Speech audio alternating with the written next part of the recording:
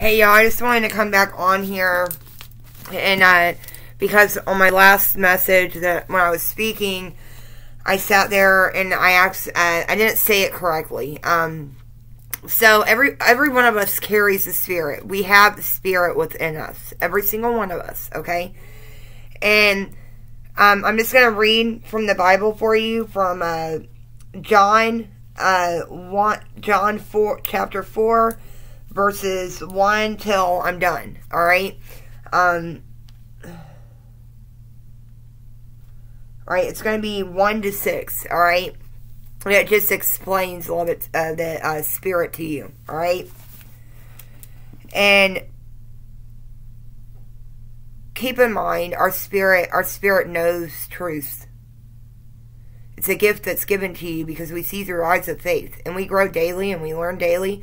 And understand, like me myself, I'm not religious. I'm spirit. I'm a uh, spiritual woman, I suppose. But I'm not religious, but I am spiritual. All right. So, and, and we learn daily and we grow and, we, uh, and our, the truth expands within us. Okay? Dear friends, do not believe every spirit, but test the spirits to see whether they are from God. Because many false prophets have gone out into the world. This is how you can recognize the Spirit of God. Every spirit that acknowledges that Jesus Christ has come in the flesh is from God. But every spirit that does not acknowledge Jesus is not from God. Wait, wait, wait, let's see. But every spirit that does not acknowledge Jesus, that, that does not acknowledge, every spirit that does not acknowledge Jesus, they are not from God. This is the spirit of the Antichrist, which you have heard is coming and even now is already in the world. You, dear children, are from God and have overcome them, because the one who is in you is greater than the one who is in the world. They are from the world and therefore speak from the viewpoint of the world, and the world listens to them. We are from God, and whoever knows God listens to us. But whoever is not from God does not listen to us. This is how we recognize the spirit of truth and the spirit of falsehood. So, yeah, so every every one of us has a spirit within us, okay? And like me, I used to carry, I, I, uh, I in a sense carry, uh, the Antichrist was trying to, uh, im, im, uh, uh, put his impression on me. But, I told y'all before, I don't know if you, um, I, I had a friend, and I, I have a friend. I asked her years ago, I said, Girl, are you saved? She said, Baby, I always been saved. I just didn't know it yet. And that spoke so many truths to me. So many truths. And, um, but yeah. So, no matter, Satan can't take what's God's, but it's important that we speak out of our vessel, that we speak from our vessel, that because it devours the darkness. It freaking devours it. There was something else I was reading. Let me see if I can find it real quick.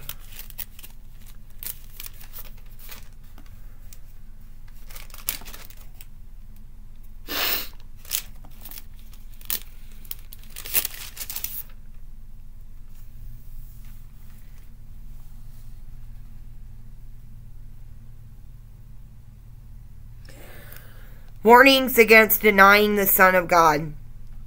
Dear children, this is the last hour. And as you have heard that the Antichrist is coming, even now many Antichrists have come. This is how we know it is the last hour. They went out from us, but they did not really belong to us. For if they had belonged to us, they have remained with us. But their going showed that none of them belong to us. But you have an anointing from the Holy One. So it's like uh, they tried, but they can't have God's children. But you have an anointing from the Holy One, and all of you know the truth. I do not write to you because you do not know the truth, but because you do know it, and because no lie comes from the truth. Who is the liar? It is whoever denies that Jesus is Christ. Such a person is the Antichrist, denying the Father and the Son. No one who denies the Son has the Father.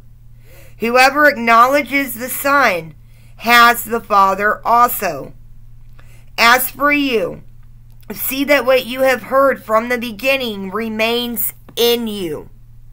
So, what you hear, what God teaches you. Now, again, there are wolves in sheep's clothing, but when you have the Spirit of God, not the Spirit of religion, but the Spirit of God, Spirit of religion is a form of the Antichrist. But when you have the Spirit of God, you know. And you grow and you become into a higher awakening. We do not, we do not deny the word of God, and we also do not talk such horrible things on the word of God. The word of God stands through the end of time. It was here from the beginning, and then it became flesh, and it dwelt among us. Jesus Christ is the living water. This is the water. It's built in our faith system. We will grow. We will learn as we go more. Like I got a lot of learning to do. You know what I mean?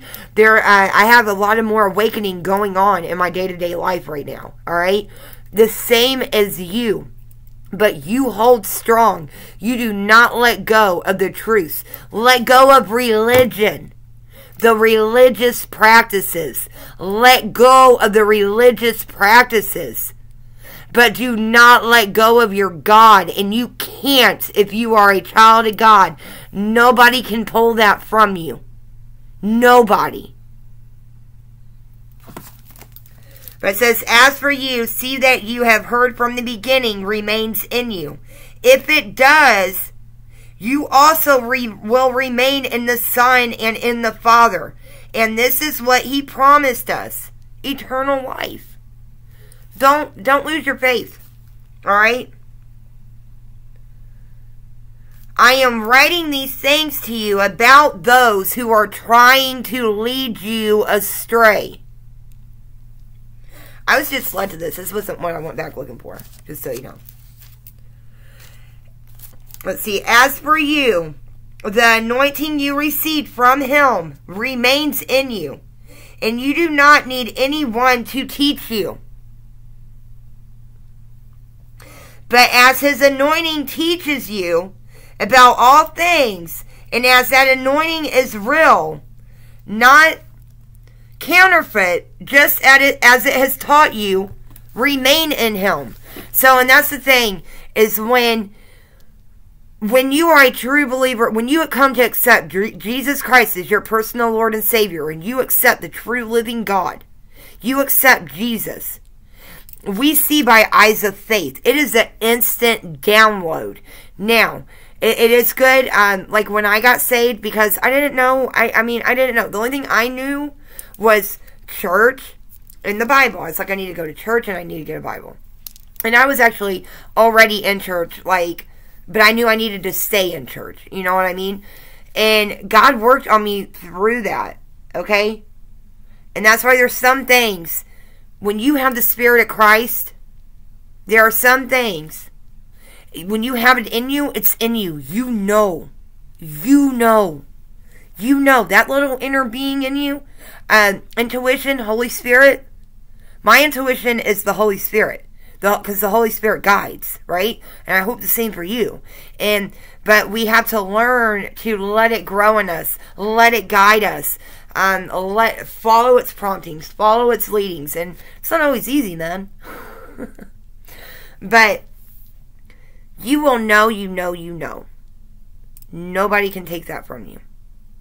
They can try to cloud it up. That's why it's saying, do not be deceived from the ones that are trying to take this from you. But they can't. Because God says nobody can pluck can pluck what's mine from my hands.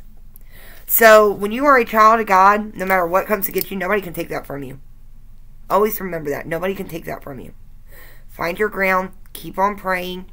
If people are calling you horrible names, if they're saying you're a bad Christian, if they're saying this and this and this and this about you, that's just a sign of the Father on you. Because you know. And the world don't accept you. And the world is intimidated by you. And the world don't like you. That's okay. The world don't like me either. Alright? But we are to live in our in truth. Truth is also our truth because we are a temple. We become we are one. We are united. We know each other. All right? We are one. The ways of Christ are instantly in us. Nobody can breach that system. They can't. Because it is holy. It is divine. It is special. And nobody that is outside of Christ is allowed to understand the ways of, of Christ. There was a time somebody, it was actually, uh, whatever, we don't got to, I don't got to say who it was, okay? But I always knew. I was like, you know, like I told somebody before, I was like, well, uh, I can't, I can't remember. Thank God it's a race. Woo! But uh, this lady told me she was like, if you know the ways of Christ, because I've never been focused on the enemy. I have never been focused on knowing the enemy. I don't need, and, and somebody told me, they're like, well, you need to know his tact. Like, he was getting mad. Now I know why. Antichrist spirit. And I was like, he was getting mad because I was like, I don't acknowledge Satan. I do. I have not. I'll tell y'all right now. I have not gone into the Bible and dug for Satan. I don't need to. And why would I do that? Why do I want to research something that I already know is, I mean, yeah, no, I don't need to do that. And like I said, that person was getting mad. I, was, I, I could feel it. I was like, something is wrong. Like, well, you got to know the ways of an enemy to take down an enemy. No, I don't. I and that's what my mentor told me. She said because I I don't agree with her about like I do. Actually, I do. The devil don't need to be brought up in the pulpit. Period. I mean, you can talk to explain people about his ways, uh, not explain people about his ways, but warn them of him and his deceptiveness. So it's a very fine line. But to really sit down and Bible study, yeah, you got me messed up, buddy. Like, uh, like I don't need to be in a church that is giving Bible studies about Satan. And I'm not saying a church was. I'm just, you know, always remember that. You don't know. And my mentor told me, she sat there and told me, she was like, listen to me. If you know God, you know everything that goes against God. That's all you need to know. Because then you know. Because if you know if you know God, you know that's not of God. You don't need to know nothing else. Because you're already on the winning team. You're already gonna win. You're already set to win. God said it. We already got the victory. We praise victory for it. Praise God. Praise God. It will not always be this way. Praise God. It will not always be this way.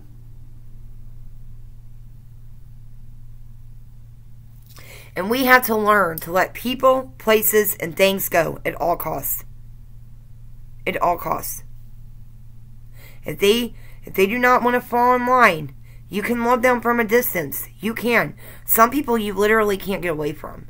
Like you're literally stuck with them. That's how the enemy works. Do you think God is going to make you? Somebody could say they're Christian all day long. Do you think they're going to make you st stay somewhere that you don't want to stay? No, they're going to let you go. They're going to pray for you. They might pray for you. They might warn you. But God is a God of love. He don't he don't make you stay somewhere that you don't want to stay. Oh, praise God. they will let you go. And they'll also let you know that they're always there for you.